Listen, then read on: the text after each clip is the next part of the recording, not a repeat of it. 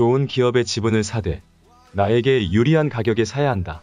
그러므로 투자를 시작하기 전 최종적인 체크리스트는 안녕하세요.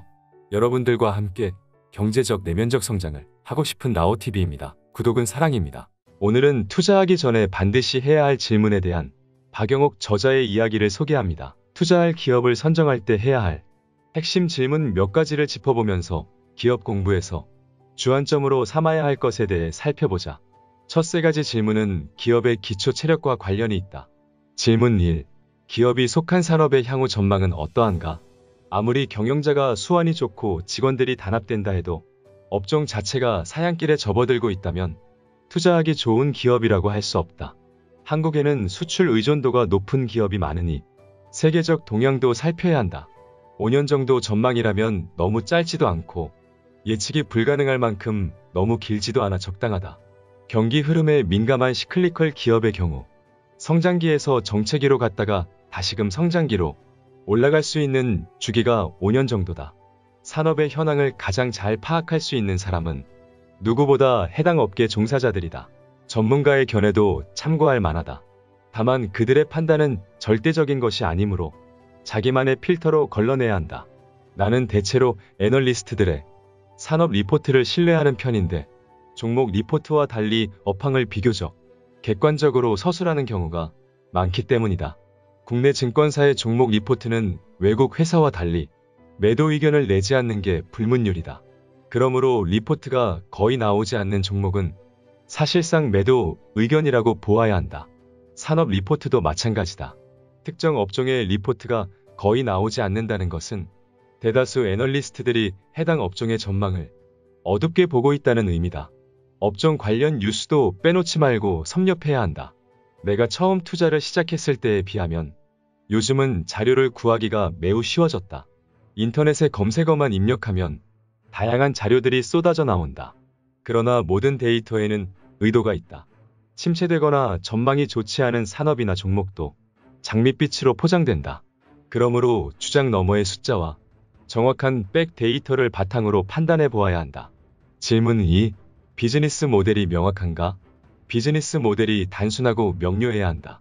누구에게든 그 기업이 돈 버는 법을 한 문장 이내로 간단히 설명할 수 있으면 좋다. 같은 업종이라도 돈 버는 방식은 다를 수 있다.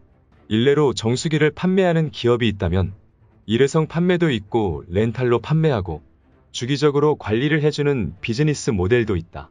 그 특징에 따라 매월, 매년 들어오는 현금 흐름을 예상할 수 있으며 어느 쪽이 더 돈 벌기 유리한 모델인지 판단할 수 있다. 비즈니스 모델에는 자회사 구조도 포함된다. 우리나라 기업들은 대주주의 기업 지배력을 강화하기 위해 복잡한 지분 관계를 구성한다. 이런 경우 기업을 파악하는데 어려움이 따른다. 자회사로 기업의 이익이 빠져나갈 수도 있고 한 곳이 어려워져서 도미노처럼 다른 곳까지 무너질 수도 있다. 명확한 비즈니스 모델을 가진 업종 내 1등 기업이라고 해서 무조건 투자 대상으로서 합격점을 주어선 안 된다. 무엇을 무기로 1등이 될 수 있었는지 파악하는 것이 우선이다. 기술력일 수도 있고 영업력, 브랜드 인지도일 수도 있다. 1등의 지위를 유지하기 위해 어떤 노력을 하는지도 분석해야 한다. 기술 개발을 활발히 하고 있는지, 영업망 확충이나 새로운 형태의 판매 모델을 시도하는지, 직원 복리 후생이나 교육 훈련 수준은 어떤지, 일이라는데 안주에 아무런 노력도 하고 있지 않다면 금세 따라 잡히고 말 것이다. 질문 3. 재무구조가 안정적이고 심플한가? 요즘은 네이버에만 검색해도 기업의 3년치 재무 현황, 배당 수익률, PER, EPS, BPS 등이 보기 좋게 정리되어 나온다. 그런데 이것만으로는 조금 부족하다. 일례로 PBR이 낮다고 해서 무조건 저평가된 알짜 회사일 순 없다. 자산이 무엇인지 알아야 정확히 평가할 수 있다. 회사의 재무구조를 제대로 파악하려면 금융감독원 전자공시 시스템에 공시되어 있는 사업보고서를 꼭 탐독해야 한다. 나는 10년치 사업보고서와 감사보고서는 반드시 파악한다. 기업이 살아온 이력과 향후 행보를 보여주기에 필수적으로 읽어봐야 한다. 어려울 것이라는 선입견과 달리 실제로 읽어보면 쉽고 재밌다. 그리고 사업보고서에 포함되어 있는 재무제표도 10년치 정도를 살펴보면 그것만으로도 회사의 변화 과정을 유추할 수 있다. 재무 회계 지식이 없다면 관련 서적 한두 권은 읽고 재무제표에서 파악해야 할 핵심 사항이 무엇인지 알아야 한다. 대개 심플하지 못한 재무구조를 가진 기업들은 BW, CB 등을 통해 자주 자금 조달을 한다. 낮은 금리로 자금을 확보해 신규 산업에 열심히 투자하기 위한 것이라면 상관없다. 당장 주식 가치가 떨어질 수 있어도 장기적으로는 기업 성장에 도움이 되기 때문이다. 그런데 자금 조달은 몇 년 후에는 반드시 이익으로 연결되어야 한다. 이익이 나지 않는데도 계속 자금 조달을 한다는 것은 밑빠진 독에 물을 부어 생명 연장을 하고 있다는 의미다. 때로는 대주주가 자산 증여나 지분 확보 수단으로 악용하는 경우도 적지 않으므로 유의해야 한다. 다음의 세 가지 질문은 기업의 본성이나 성향과 관련이 있는 질문들이다. 질문 4. 적정한 수준의 배당을 해왔는가? 나는 배당을 매우 중요하게 생각한다. 기업에 투자하고 성과를 나눈다는 개념에서 가장 중요한 바로미터는 배당이다. 배당을 줄 수 있다는 것은 기업이 꾸준히 이익을 냈다는 긍정적 신호다. 또한 앞으로도 이익을 낼 수 있다는 자신감의 표현이기도 하다.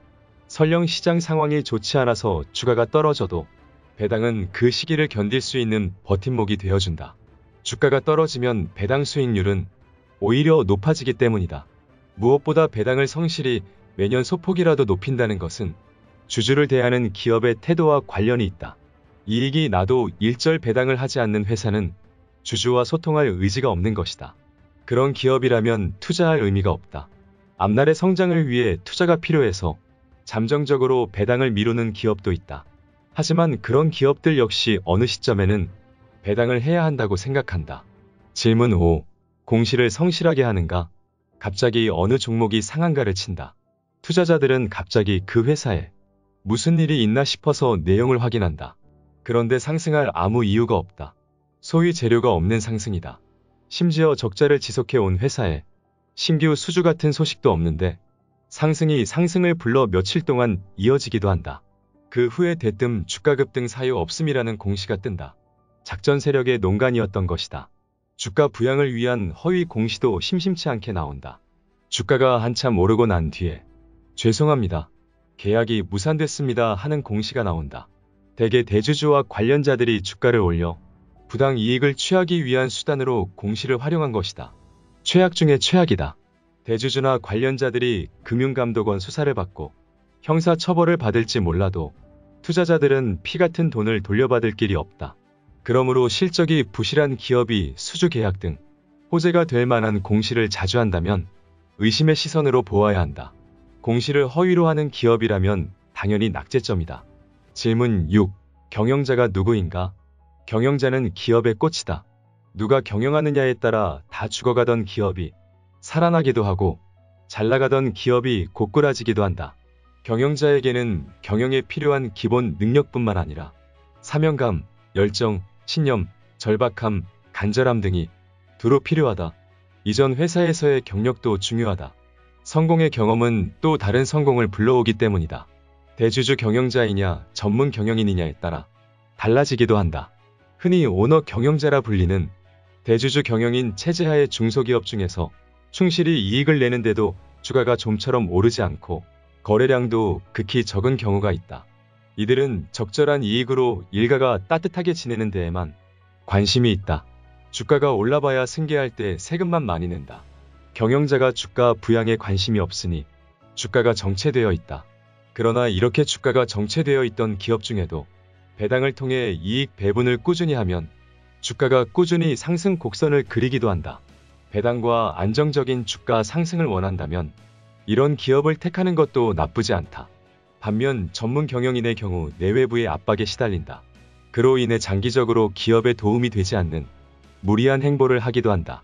주가 부양 여부가 경영 능력 평가에 기준이 되기도 하기 때문이다. 경우에 따라서는 전문 경영인이 대주주 경영인보다 더 낫다. 뛰어난 전문 경영인은 기업의 체질 자체를 바꿔놓을 뿐 아니라 매출과 이익을 대폭 성장시킨다. 경영자를 파악하는 가장 손쉬운 방법은 인터뷰 기사나 유튜브에 올라온 인터뷰 영상 등을 보는 것이다. 물론 기사의 경우 대개 광고의 일환이므로 고지고대로 해석해선 안 된다. 칭찬 일색의 기사 이면에 담긴 숨은 키워드를 찾아내야 한다. 통찰력이 발휘돼야 할 대목이다.